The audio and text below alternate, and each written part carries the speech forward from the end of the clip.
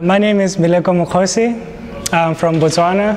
I'm an artist in residence um, at the Studio Museum in Harlem. So the work for, for this exhibition um, is is one chapter out of an eight chapter um, project. Um, the whole project is called Pax Kaffraria. Um, and like I said, this is one of eight. People would ask me, you know, you know, you, you, paint a lot of black people. What about white people? You know, there are a lot of white people in Southern Africa. Um, so I had to figure out a way to deal with white people's presence in Southern Africa in a way that is not cliche. Um, you know, meaning uh, not just white South African farmer with a shotgun and Bible. You know, I, I had to do it in a way um, that kind of suited the politics I wanted to deal with.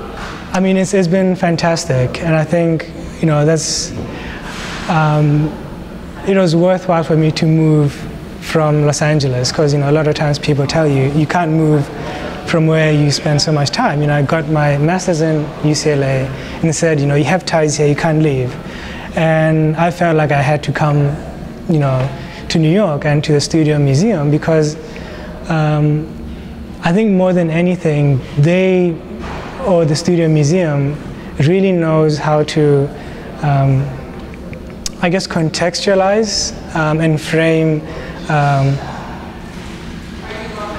I would say, black artists' work. You know, I, I don't want to make it so exclusive, um, but they really know how to be sensitive as viewers, um, and they know how to frame our work so that it's not just, oh, you know, black South African guy painting, you know, political paintings, uh, figurative paintings. It's not just that. When I saw the announcement for the AIR um, Artist in Residence um, that I'm in, and the first two lines they talked about, you know, not that I'm from Africa, not that I do political paintings, you know, they talked about my work um, as it relates to cinema and history painting, um, and, you know, I guess politics. They know how to frame you know, the kind of work that I make and the kind of work that has come out.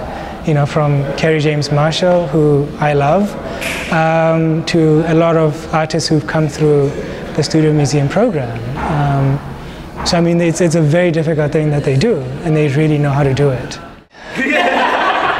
there you go. There you go.